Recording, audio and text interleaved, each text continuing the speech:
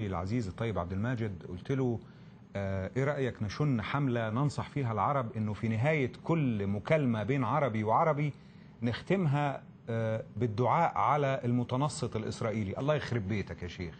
يمكن الله يخرب بيتهم فعلا. الآن ينضم إلينا من الرياض سعادة الدكتور يسري زكي خبير تأمين المعلومات والاتصالات العربي المرموق. مساء الخير يا دكتور يسري. يسمعوننا دون شك يتنصتون علينا دون شك يا دكتور يسري. هذا أمر مقطوع به؟ هذا أمر طبيعي. هذا أمر طبيعي آه، أن وجهة النظر في مسألة آه، حصول إسرائيل على معلومات من آه، الأعداء الدائمين لها. ترى بعض المبررات التي تقول الت- التنصت عملية مستمرة وسوف تستمر. فلنأخذ في اعتبارنا أن هناك استمرارية في مثل هذه الأمور سواء كانت بالتطوير التكنولوجي أو بالطرق التقليدية السابقة.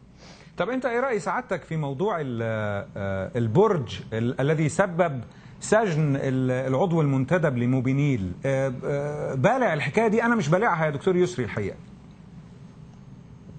هو الحقيقة لازم نحط في الاعتبار إنه ال- بالرغم من التقدم التكنولوجي الكبير آه، الموجود آه، لدى آه، الدولة الصهيونية وخاصة فيما يتعلق في الاتصال- الاتصالات كما تفضلت حضرتك. وشرحت في المقدمة وكما آه، بين التقرير أن هناك استمرارية في مسألة الحصول على المعلومات باستخدام الأقمار الصناعية ال- مم. الثلاثة عايزين البرج في من- بقى يا دكتور. يسري يعني البرج آه. المقام على أراضي مصر مصرية ي- ينفعهم في إيه أكتر من القمر الصناعي اللي سامعين آه، من خلاله دبة النملة الحقيقة في حاجة مهمة جدا في مسألة التنصت بتبقى آه، أو في مسألة جمع المعلومات الاستخباراتية اللي هي تعدد المصادر.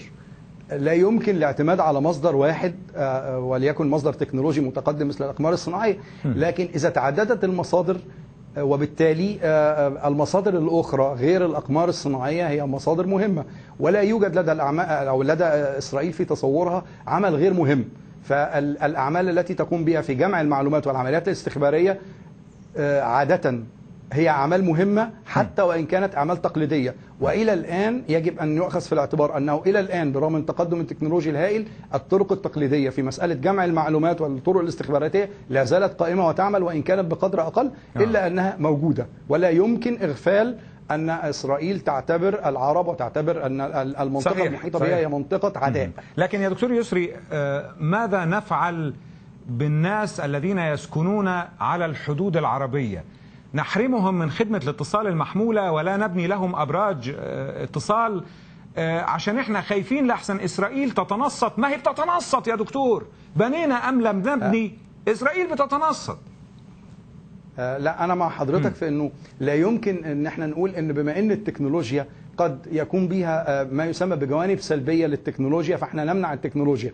يعني إذا كانت التقنيات قد تفيد في بعض الأعمال وتضر في بعض الأعمال فلا يمكن إيقاف التكنولوجيا أو إيقاف التقنية لمجرد أن لها أضرار. إنما يجب أن يكون هناك ما يسمى بالأخذ في الاعتبار الاحتياطات لسكان الحدود مع إسرائيل. وهذه الاحتياطات لو كانت أخذت في الاعتبار أو لو أنها تؤخذ في الاعتبار لأن كل دول العالم كل دول العالم دون استثناء ترى أن الدول المجاورة لها قد تتطلع على بعض معلوماتها وبالتالي تأخذ بعض الاحتياطات.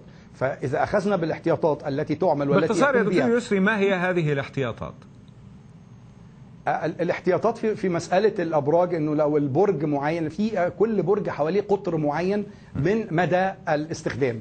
يعني أي برج بيبقى حواليه هالة أو دايرة أو عدة دوائر هي اللي ممكن يكون فيها الاتصالات بالقدر اللي ممكن يغطيها. وبالتالي لو البرج ده كان جوه شوية كان يبقى آخر مدى يمكن ليه ما يدخلش جوه الأراضي الإسرائيلية. مثلا أنا بدي مثال المساله اللي حضرتك طلبتها لإيضاحها للمشاهد والمشاهدة. فالمسألة فيما فيما يتعلق بالأبراج لو الأبراج دي ليها حواليها دائرة هذه الدائرة يجب أن تكون داخل أراضي الدولة ولا تكون هذه الدائرة خارج أراضي الدولة. وبالتالي لو أخذ هذا في الاعتبار ودي مسألة تكنولوجية أو تقنية يمكن حسابها. والتشفير يا دكتور. التشفير عادة من من الحاجات المهمة جدا اللي بتستخدم على النطاق القومي، يعني يجب أن نفرق بين الاستخدامات استخدامات الاتصالات السلكية واللاسلكية على المستوى القومي على مستوى الأفراد، على المستوى الأفراد فيما يتعلق بمستوى الأفراد ليست المكالمات ال- الفردية هي الأهم، إنما على المستوى القومي جميع ال- الدول تستخدم شبكات خاصة استراتيجية لأعمالها الاستراتيجية،. وبالتالي ليست ليست مستخدمة كما تستخدم الإجراءات العادية اللي موجودة في الموبايلات العادية والاتصالات العادية اللي إحنا بنستخدمها. معلش يا دكتور يسري أنا أنا لا أفهم كثيرا في هذا ال- الشأن لكن بنشوف في الأفلام كده فهد ينادي أسد حول.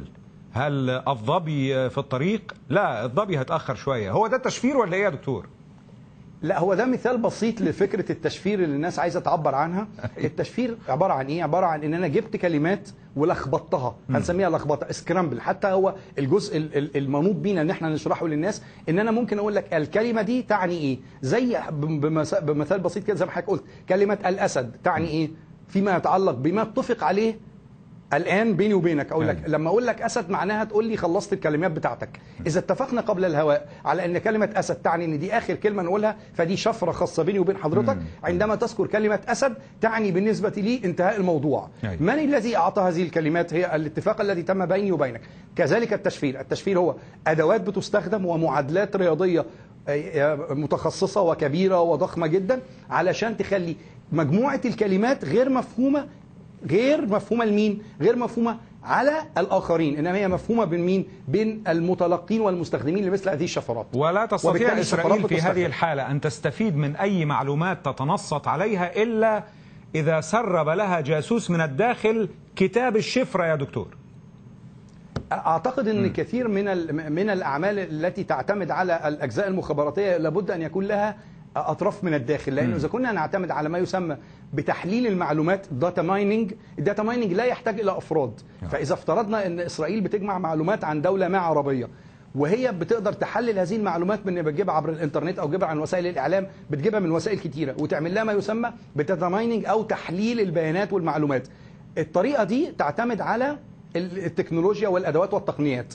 إنما الطريقة الأخرى اللي هي الأسهل اللي حضرتك تعرضت لها أن يكون لها عميل في الداخل يستطيع أن يفك لها الشفرة اللي هي أيوة. كيف يفكر الناس في مثل هذا الموضوع. ليست طريقة التفكير إنما في حاجة اسمها الأكواد اللي هي إزاي أوصل لما يسمى مفتاح الشفرة. صحيح. فهم حزب عادة الله- بيبحثوا عن آه، المفاتيح. آه، حزب الله ال- اللبناني يا دكتور آه، تذرع حينما كشف أنه آه، آه، أسس ويشغل شبكة اتصال محمولة خصوصي ملاكي بتاعته.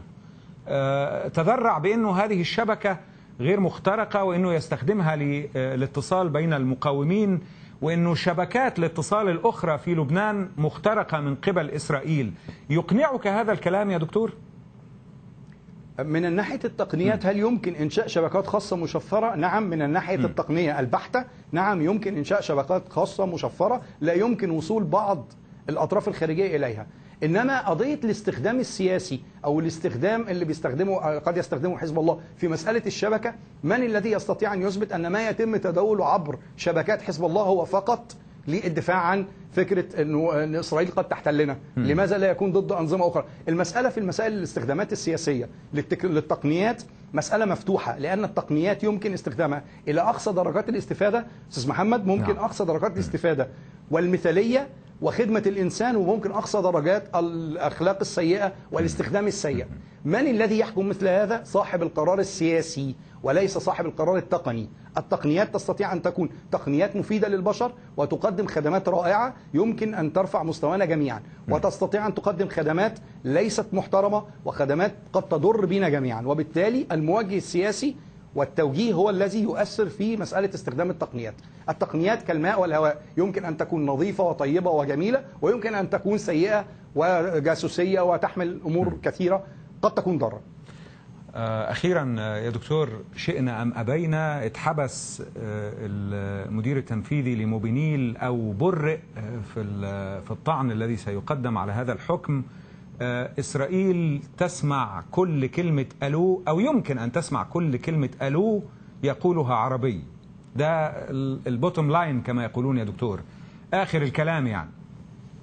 آخر الكلام ما آخر ما يقولونه وآخر ما أحب أن أقوله أنه ليست الجاسوسية قدرات تكنولوجية فقط أو قدرات تقنية فقط. هناك جزء مهم جدا يجب أن أن أن يكون معلوما للجميع أن هناك قدرات بشر ما يسمى بال methodology وطرق التفكير يصنعها البشر ويتدرب عليها البشر. أيوة. والبشر يستطيع أن يتغلب على التكنولوجيا إذا كان يفهم التكنولوجيا بمعنى التقنيات يمكن أن تشكل آه، جزء مهم كبير وأدوات في إيد إسرائيل. لكن ما ليس في يد إسرائيل هو الخبرات والتراكمات والمعرفة التي يمكن أن تحصل عليها أنت وأحصل عليها أنا واحصل عليها الآخرين ويطوروها. وبالتالي هذا هو الأمل أن ترفع القدر التكنولوجي والتقني. نعم هذا مهم لكن الأهم منه واللي إحنا هنتسأل عليه قدام ربنا آه. إن يجب أن يكون لدينا علم نطبقه ونستطيع أن نتميز بالعقل الذي أعطانا إياه ربنا لكي نستخدمه. فنحن لسنا يا من العقلية. أسد. انما نعم. عارف أسد يعني إيه؟ إنما من الناحيه من الناحية نعم. أسد يعني الوقت انتهى. اتفقنا.